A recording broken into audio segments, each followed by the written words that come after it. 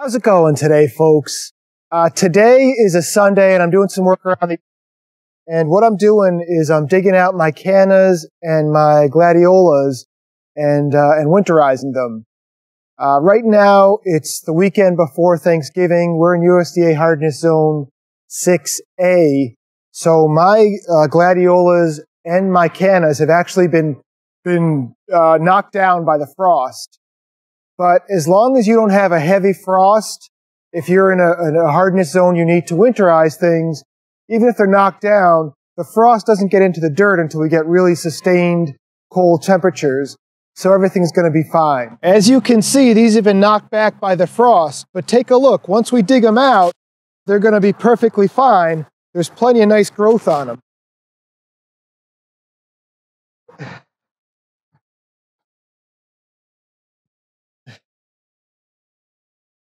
So you can see right here, this is the growth for next year. So all I usually do is I'll dig them out like you just saw.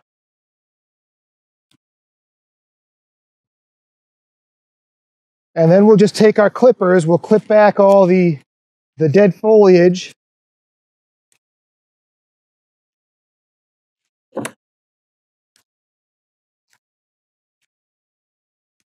This is just a place for disease and insects to, to linger over the winter.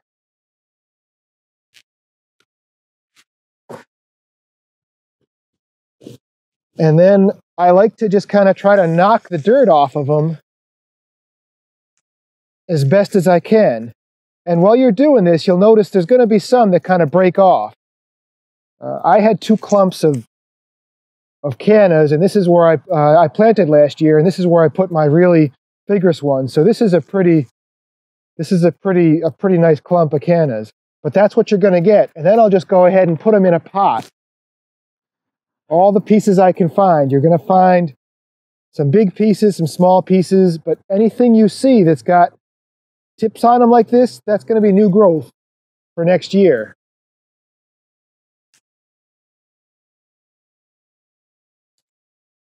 And this is a pretty, this is a pretty big clump. Pretty impressive. So we'll just knock most of the dirt off and go ahead and make sure we got all the foliage off.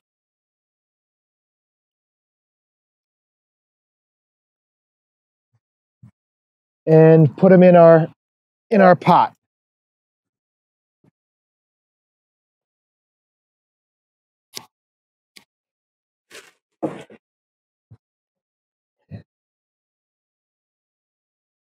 So you see this one, you see all this growth here, and then there's our growth for next year. And this is a nice big fat one. I bet you that's going to have a beautiful flower. And these things are just out of control. They really like it over here. The other clump I put was near my Stewartia in front of the house.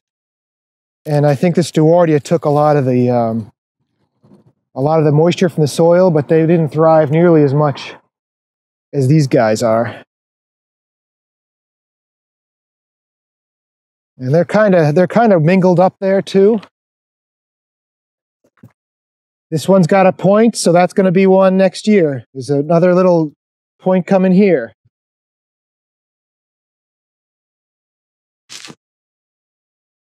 This one's got two points. It's going to grow real nice next year.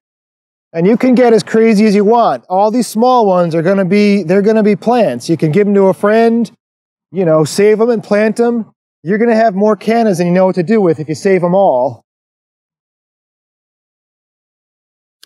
Because a happy canna is going to spread pretty quickly. Over here, we've got our gladiola, and gladiola are a little bit different than our cannas. Gladiola are what's known as corms. So if you take a look here, Uh, look at that. This is a corm, whereas your cannas are rhizome. We're just going to go through and dig up the clumps.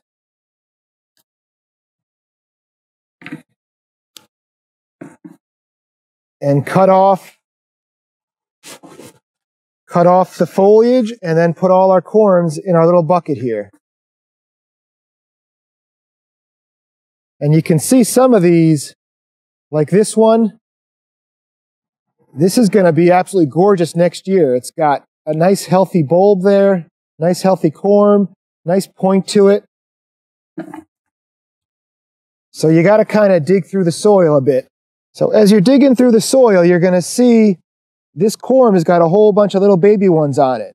So if you're in a climate where these things overwinter, and I've heard sometimes they do here in, in hardiness zone 6A, I've heard sometimes they do, these are all going to grow into other gladiolas. I'm just going to worry about the really big ones right now and see if I can get enough to keep me going next year so I can save some money from having to buy them. And this one here looks pretty nice too. It's a nice big fat corm. It's, it's firm. And I think this is going to give me some beautiful flowers next year. So here's a good example where we have the, the parent plant and then the corm coming along. And this one's a decent size, so we'll save that. And digging up glads looks like it's a little more tedious.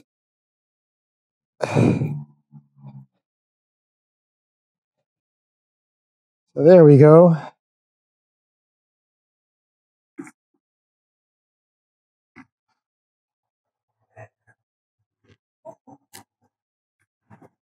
I keep bumping into these nice big fat worms. Worms are always a sign of healthy soil. Looks like if you get there late enough in the season, you can just rip off the tops. They've already kind of gone dormant. Save yourself from messing with all the clippers. There's our haul of our gladiola and our cannas. We just got to bring them to the basement now.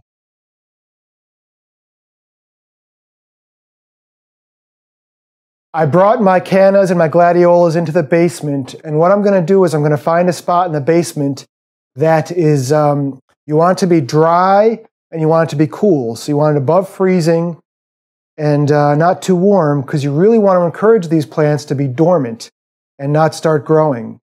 And the other thing I did is when I brought them in the basement, I, I put a plastic bag around the pots because I had to go through the house. So I didn't want to make a mess. But the key is cool, dry, and not in direct sunlight. You want these plants to be dormant.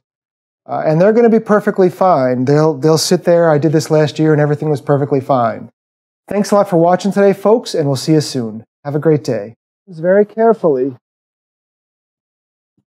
if you look at these stems very carefully, you'll see that about every four inches there's a new set of buds. Now what I want to do is cut just above those buds.